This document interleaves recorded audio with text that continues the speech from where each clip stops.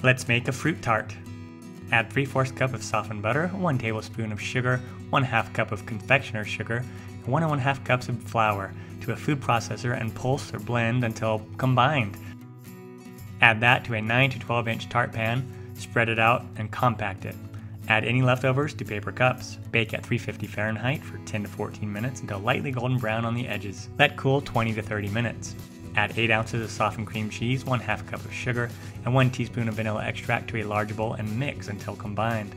Add that to a bag or piping bag and pipe it onto the tart shells.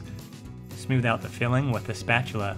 Then add your sliced fruit strawberries, kiwi, raspberries, blueberries, etc. Melt a few tablespoons of jelly or jam and baste it on the fruit to give it some shine and some flavor. Remove the fruit tart from the pan and serve. Enjoy! Check out my website, inthekitchenwithmatt.com.